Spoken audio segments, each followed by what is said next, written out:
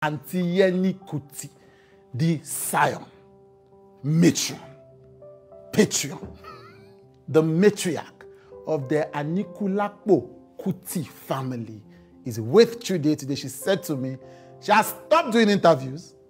When they say it's Trude, she said, I will do it for Trude. I've stopped giving interviews. Yes, I heard. So, yes. Uh, when he mentioned your name, I said, okay, because it's Trudy, let me just. And I said, thank you. We go deep into her family. We talk about Fela. Was he a good father? In his own way, yes, but in the conventional sense, no. I don't even think he should have had children. I think he should have just been father to all the nation. National father. You didn't feel any special bond that you were Fela's child or he was going to favor you because you, you were his child or you, you were just another human being hmm. as far as he was concerned. It was different. Yeah. Because we didn't call him daddy, for instance. Mm. Did he die happy? That's a very, very tough question. The reason that I think it's tough is because he was quite ill mm. when he died. So someone that is so ill, I don't think can be happy. And what did the family and the children especially think when his brothers announced that he had died of AIDS? I have to say it now that I think it was the best decision that my uncle made. If he had not announced it, till now, they will still be doing underground. So what killed Fela? But he said, no, Fela died of AIDS. Oh, yeah.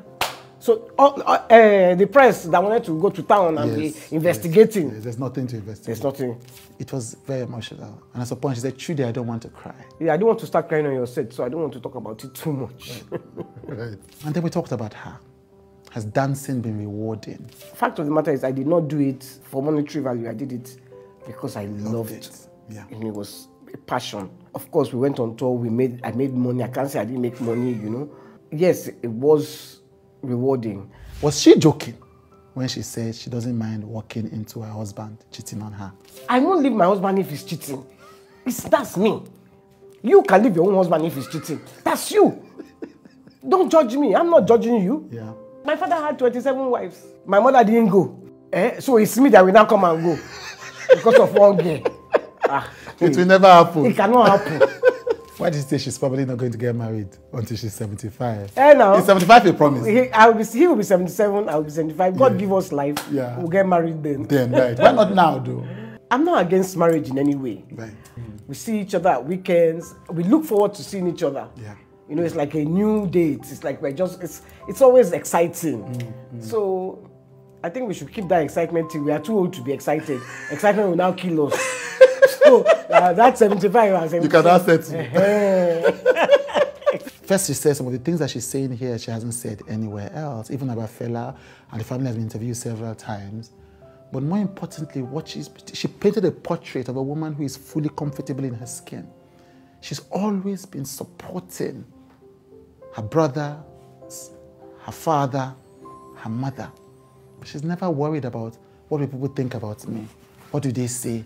You know, are they respecting me? Do they see me as the star? She's like, no issues. She's like, she's doing what she wants to do, how she wants to do it. Build a new African shrine. People were still calling it Fela Shrine. It's like, that's exactly why we did it. Shrine is a memorial to Fela. The New African Shrine is a memorial to Fela, his life, his legacy, his music, everything. It was built by Femi and I, but people still say Fela Shrine. And it's acceptable. It's totally acceptable. Right.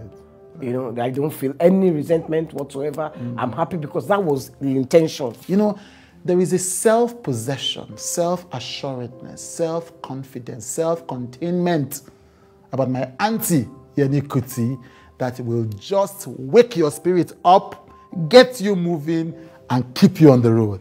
This one was one for the books.